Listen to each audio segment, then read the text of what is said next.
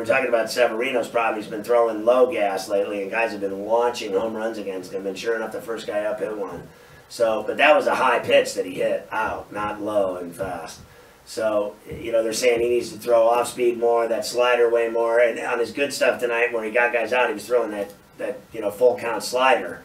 But his fastball has been uh, low and getting uh, golfed out. Can you still consider the guy an ace? Like that he, they always call him the ace of the staff, and, and he's like anything but. He doesn't like. I don't get it. Like remember in the playoffs last year when he got lit up. But I, I won't deny the guy's good, right? I won't deny he's got filthy stuff. But it seems to me that the longer he pitches, the more, obviously, the more he pitches, the more worn down he gets.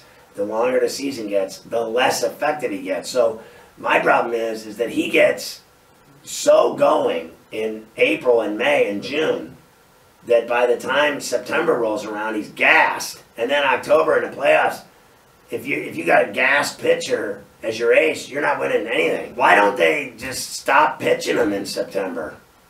Seriously, and let him just work in the bullpen at the stadium before you know every every week. Just work, get your work in, but don't go out and overthrow and throw too many pitches and work too many games that don't matter. Once they lock in that wild card, I wouldn't pitch that guy at all, and then I would bring him out for the playoffs where he could pitch every five days and nothing else.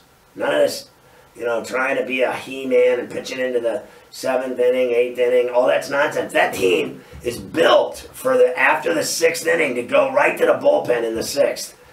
They got six, seven, eight, nine locked up with the deepest bullpen in baseball, but they don't. eh, Honestly, I'll be honest with you, they don't effectively use it. If you ask me, he has butchered that great bullpen of theirs.